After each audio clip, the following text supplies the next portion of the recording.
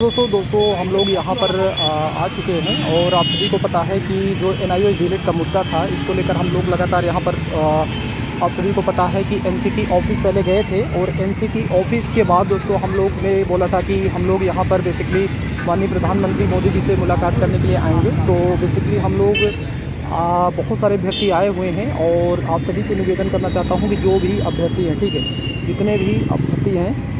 वो यहाँ पर अगर आ सकते हैं तो आइए जितने भी दिल्ली एनसीआर के आसपास के अभ्यर्थी हैं, वो यहाँ पर पहुँच सकते हैं, पहुँचिए क्योंकि हम लोग लगातार कंटिन्यूसली से दोस्तों यहाँ पर पहुँचने की कोशिश कर रहे हैं और यहाँ पर मैं कुछ चीज़ें दिखाना चाहता हूँ, सिक्योरिटी भी है। और एक चीज़ कहूँगा कि देखिए एन आई को लेकर हम लोग लगातार कोशिश कर रहे हैं। आप लोग का सपोर्ट चाहिए, अगर यहाँ पर हम लोगों को आज ज्ञापन सौंपा जाता है और यहाँ पर